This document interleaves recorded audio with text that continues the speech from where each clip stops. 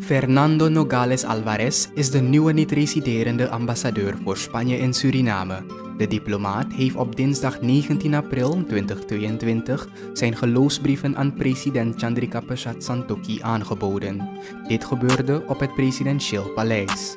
De Spaanse afgezant zal zich sterk maken voor het verdiepen van de relatie tussen beide landen. Well, the relation is, is good. Uh, but there's a lot of uh, things that we can work on. I, I was happy that uh, uh that President Santokhi mentioned a number of, of things that my predecessor have worked on. Uh, he has uh, said that he is very much ready to work with the business sector, in particular, to, to bring a greater intensity to the economic rela relationship, to bring investment to, to Suriname, because you are now developing and, and, and investments are required.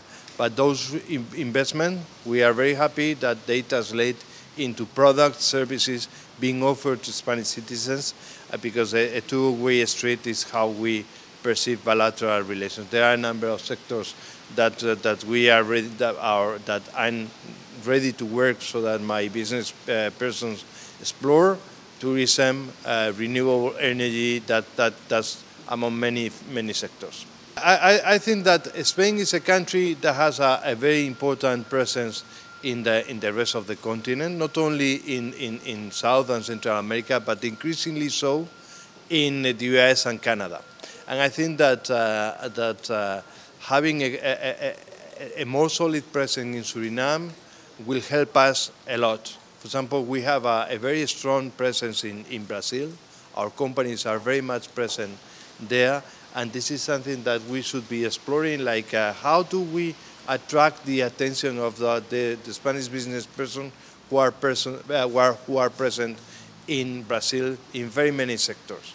Very, very, powerful companies. So can they have a, a look at uh, what is happening in Suriname? I'm sure that they are, they are taking a look at what is, what is happening, the, the very, very substantial, very concrete progress that the country is, been, uh, uh, is, is making in the last, in the last years.